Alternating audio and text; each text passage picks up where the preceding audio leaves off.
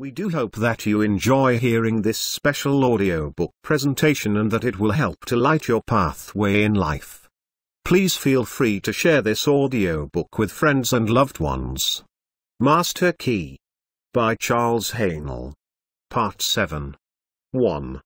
Visualization is the process of making mental images, and the images, the mold or model which will serve as a pattern from which your future will emerge.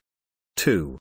Make the pattern clear and make it beautiful, do not be afraid, make it grand, remember that no limitation can be placed upon you by anyone but yourself, you are not limited as to cost or material, draw on the infinite for your supply, construct it in your imagination, it will have to be the before it will ever appear anywhere else.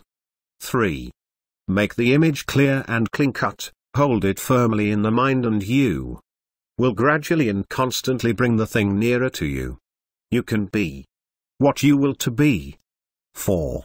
This is another psychological fact which is well known, but, unfortunately, reading about it will not bring about any result which you may have in mind, it will not even help you to form the mental image. Much less bring it into manifestation. Work is necessary labor, hard, mental labor, the kind of effort which so few are willing to put forth. 5. The first step is idealization. It is likewise the most important step. Because it is the plan on which you are going to build. It must be solid, it must be permanent. The architect, when he plans a 30-story building, has every line and detail pictured in advance. The engineer, when he spans a chasm, first ascertains the strength requirements of a million separate parts. 6.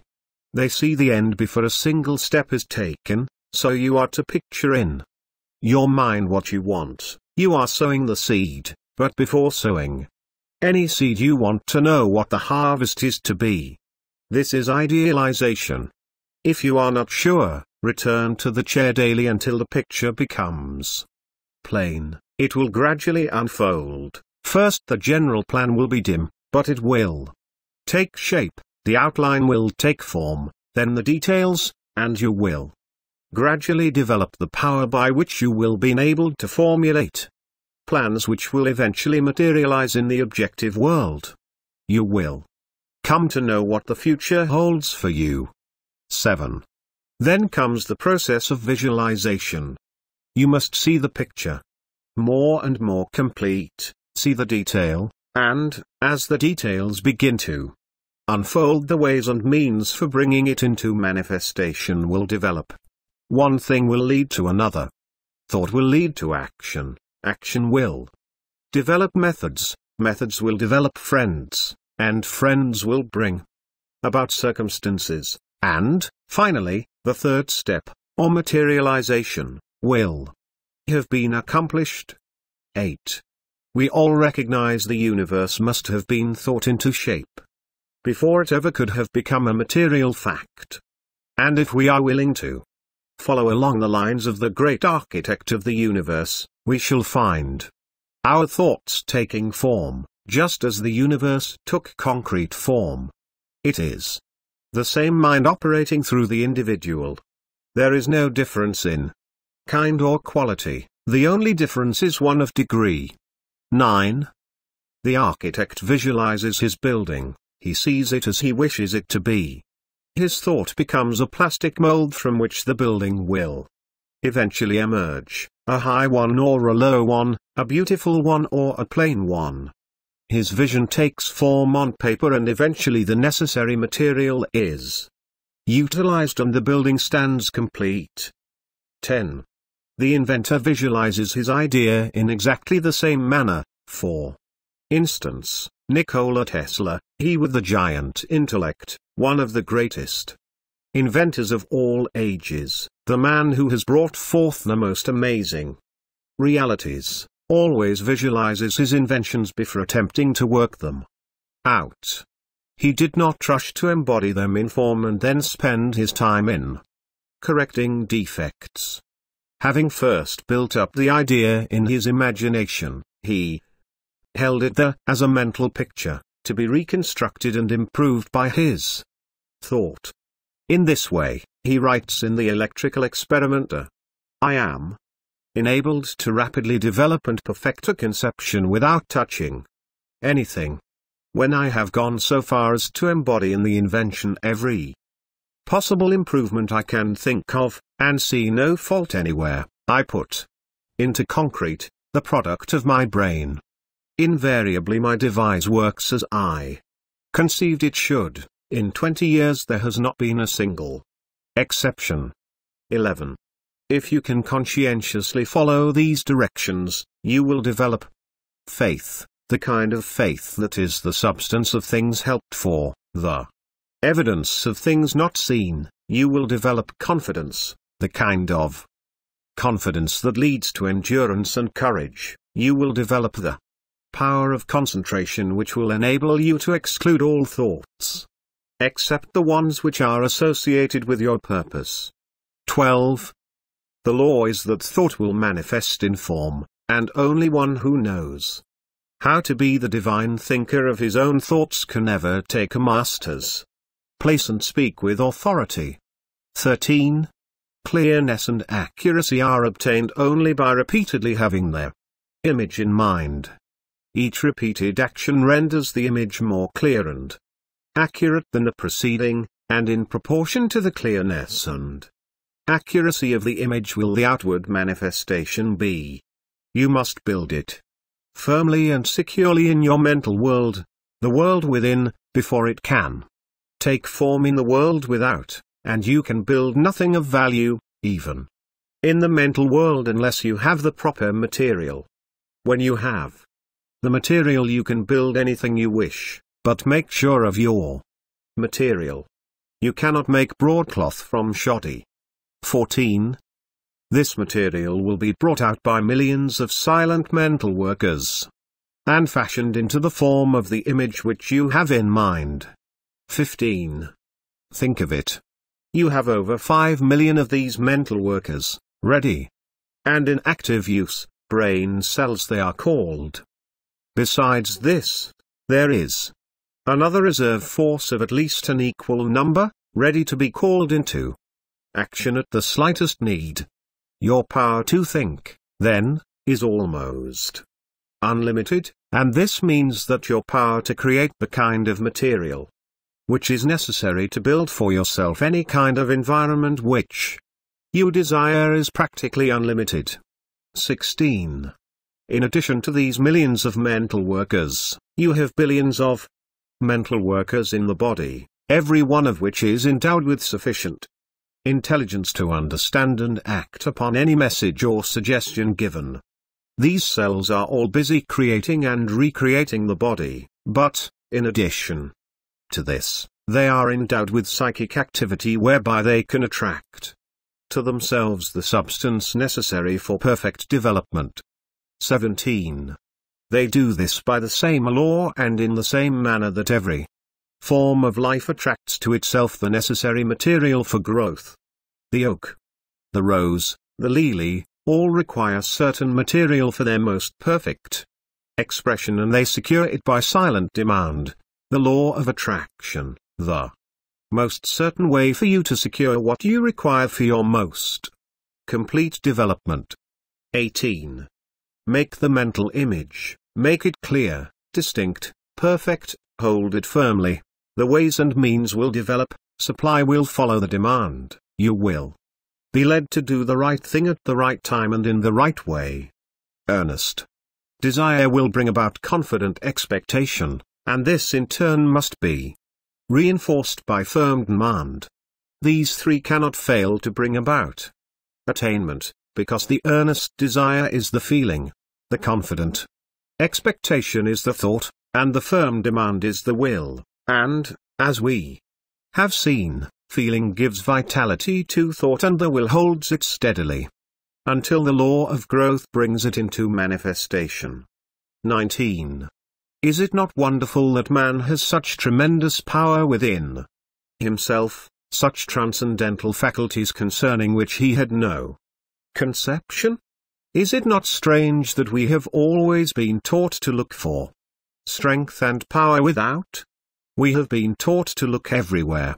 But within and whenever this power manifested in our lives we were told that it was something supernatural. 20.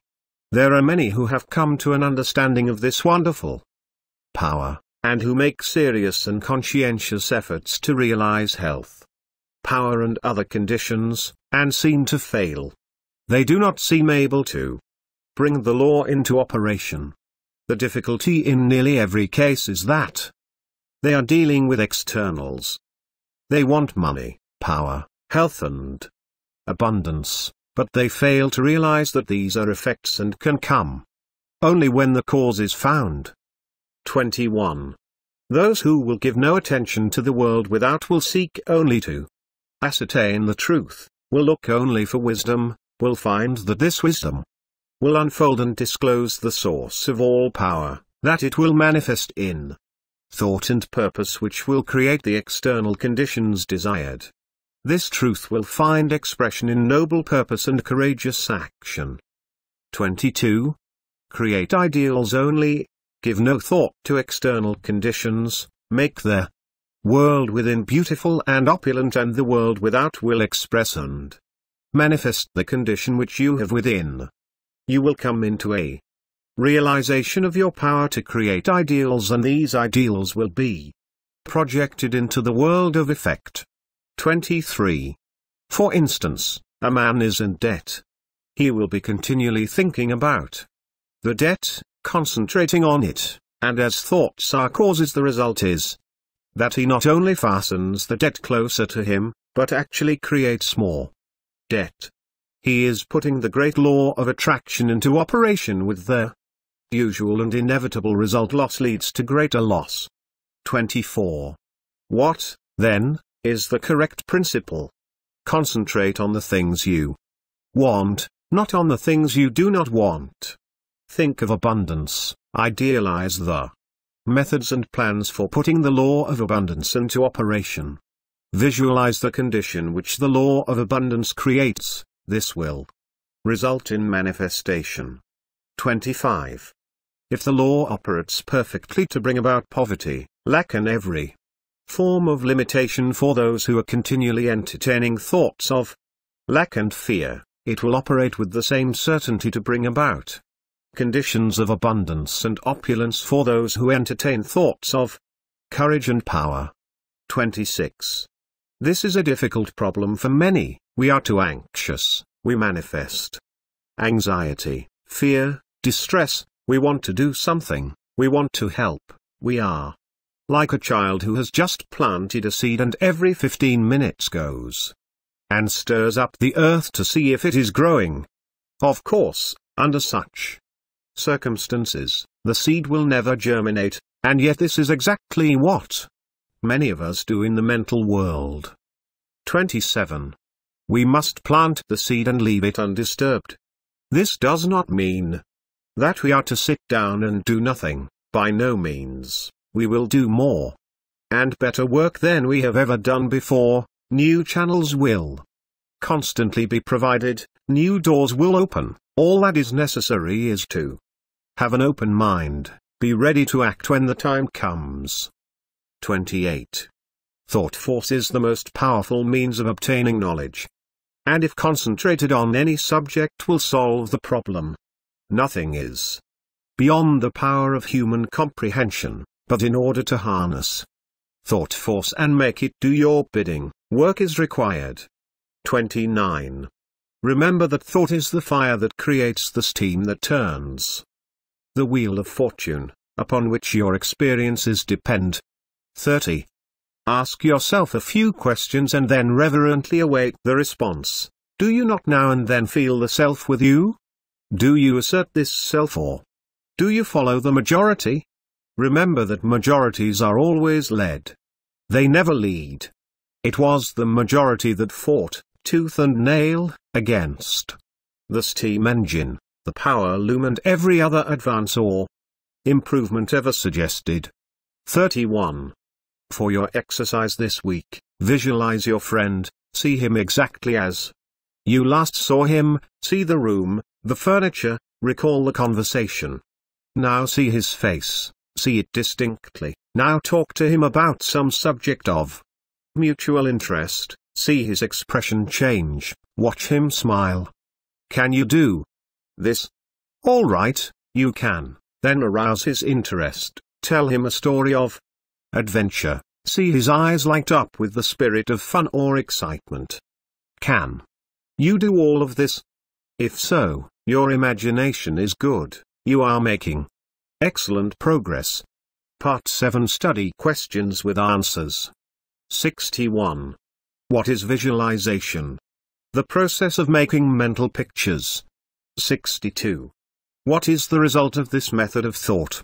By holding the image or picture in mind, we can gradually but surely bring the thing nearer to us. We can be what we will to be. 63. What is idealization?